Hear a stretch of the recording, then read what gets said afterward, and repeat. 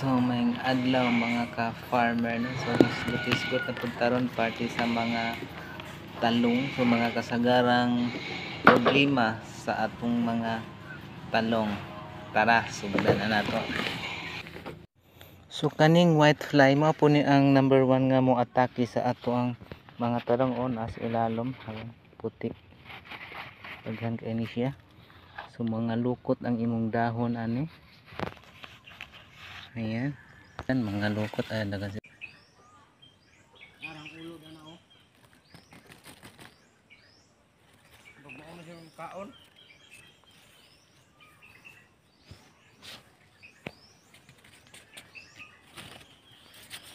po ni resulta sa ah, masubrahan siya sa di nato makontrol ang white fly pero mga lukot ang dahon wala po siya og epekto sa mga aphids gani mga lukot. Susunod na problema kaning ulod maulod sa atong bunga sa talong. Pero kaning ano nga mga balik ko so dili nato ni problemahon kay ah natural lagi na siya nga dili gid perfecto ang bunga sa atong talong tanan syempre.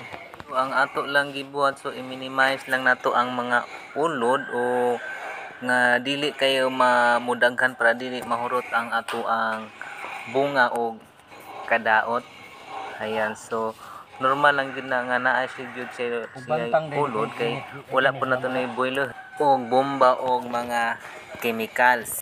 Pero o gusto jud ka nga gwapa kayo ang imong talong so kailangan mo gasto kag maayo og chemical. Pero mao lagi ang epekto pod og bobiluhan nimo gamit ang chemical. So na na siya side effect sa mga consumer So reality talk yun sa pag-abot sa palengke ang mga mopalit ay mamili gyud og mga gwapang mga gulay simple no walay igo sa mga mananap Bantang din. Nindot tanawon sinaw. Pero wala So pero wala nila huna-huna ang ang kadto day mga gwapa kay mga sinaw gibumbahan da itog maayo og mga chemicals nga mao ma-apel man gyapon nato og kakaon ang chemicals kay mag-absorb man na siya or nasa siya sa panit or wala nato matarong og hugas. So kadtong mga gulay nga daghang igo sa insekto, labi na sa mga pitsay, buslot-buslot ang dahon, wala kay mamalit ato pero wala sila kabalo nga mas healthy pa to kaysa sinaw tungod kay wala man kay ito gina igo din. chemicals wala to gina-sprayhan.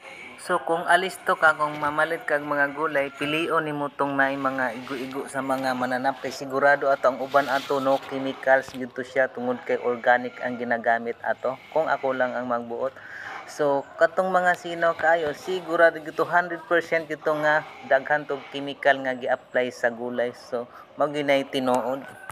So kung magsakit ka, magkaluya ka, unsa may i-advise sa doktor nimo so kaon di ba kaon o gulay more of veggies tayo pero ang problema karon god o magpataka gihapon ka og pili sa imong gulay so wa ka kabalo nga katong mga gulay nimong ginapalit di ay kulatado to maayo sa chemical so gina-sprayhan to perminti para gwapa so reality may ginabasta gwapa mahal ang presyo basta pangit brato ang presyo so karon ang mamalite kay mamili man gyud og mga sinaw mga gwapa kay nga mga gulay so mo na na karon nga maka din. reality yun na siya.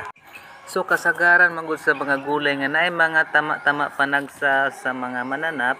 So ah may posibilidad to siya nga organic to siya ang gamit. So chemical free to siya. So safe siya kaunon. So next kini na pong punggos nga mo atake sa atong bunga sa talong panahon sa tag-ulan. So mo siya malata ang iya atong mga bunga. So kasagaran pod na maigo niini katong dili maigo sa init sa adlaw. So nasa sa landong. Di ko dayon ni mo mabantayan nga nangalata na day ang bunga paspas ni siya mutakod. So basta kasagaran gyud matakdan ani kanang dili maigo sa init o nasa landong siya. So paspas ang punggos na mo takot sa ubang na bunga sa atong tanong. So kung pili pili ta mag-spray og fungicide kung kinahanglan na gyud. So ang mas maayo buhaton pag nakakita na ka nga naan sa imong bunga? So tanggalon dahil nimo ang imong bunga.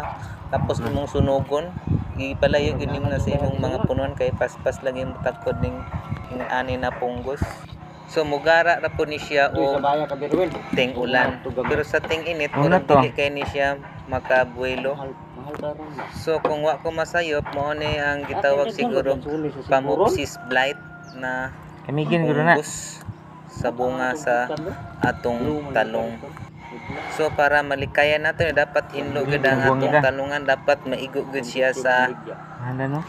init o para dili siya ka makapinitit ug maayo ang, ang punggos. Sabi ko plano.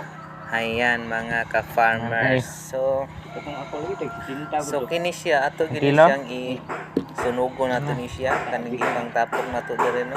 Jiboy nga. So sunugon dili pataglag lapay. 26. Kaya basta punggos lang gud paspas yun na siya mag takod samot na og basa ang panahon